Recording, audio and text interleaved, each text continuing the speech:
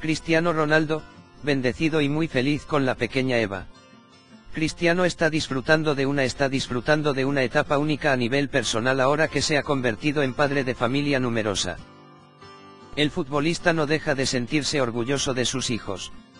Es más, no duda en publicar fotos con ellos siempre que puede y más ahora que es verano y no tiene que trabajar tanto como durante el resto del año.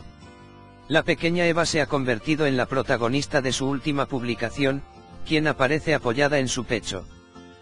Cristiano Ronaldo se muestra feliz sosteniendo a su hija, y junto a la tierna imagen el jugador de fútbol ha añadido la palabra de bendecido acompañándolo de tres corazones. Con la llegada de Eva fue bendecido por partida doble porque junto a ella llegó su hermano mellizo Mateo. Los dos niños llegaron a la vida del portugués el pasado mes de junio, cuando él estaba concentrado con la selección de su país, Portugal. Fue Dolores Aveiro, su madre, quien viajó hasta Estados Unidos para traerse a los dos bebés que han nacido mediante subrogación. En la primera foto que publicó con los dos, escribió, muy feliz de poder sostener a los dos nuevos amores de mi vida.